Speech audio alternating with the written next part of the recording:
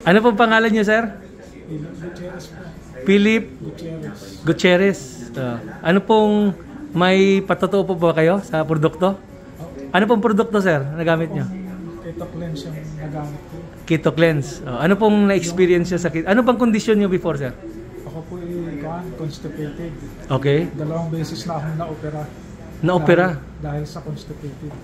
Oh, okay. Yung una akong na-operan, yung 1994. Isang linggo akong hindi nakadumi. Okay, grabe. Tapos na ulit nung year 2000. Ganon din, hindi ako makadumi isang linggo. Sumasakit yung tiyan ko. Tapos eh, gusto kong dumumi, hindi ako makadumi. Gusto kong nasusuka ako, hindi rin makasuka. Yung pala, yung bituka ko nagpupulupot na. Nung nakita sa x-ray ng doktor. Inopera nila ako. Inayos. Pero nung pagkatapos ng opera, ganun pa rin, constipated pa rin ako. Hindi pa rin ako regular na makadumi. Okay. Kaya nung in-invite ako nila Ma'am Juby. Okay. at saka ni Ma'am Melda na pumunta rito. So, nasubukan mo yan. So, ano pong nangyari, sir? Nung hindi ako pinayagan nilang umalis dito na hindi nakakainom. Pinainom nila ako bago ako umalis. Eh, Nung mga 3.13 o 3 ng madaling araw, nakaramdam ako. Umuwan yung tiyan ko. Pumunta ako ng CR. Suc- success.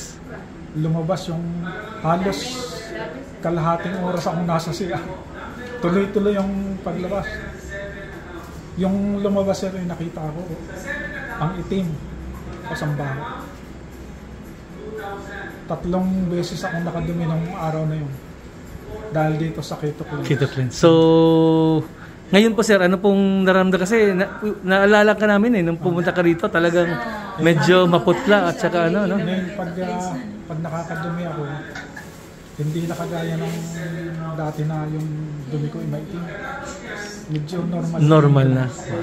Dahil sa Keto cleanse. So ano pong masasabi niya sa keto cleanse? Eh, papasalamat po ako sa Keto Cleanse dahil sa produkto na to, ako ay natulungan na umayos yung pakiramdam ko sa pag uh, dudumi. Yun. Hindi, Ano? na, hindi na masyadong constipated. Tatlo pa lang yung nainom ko sir.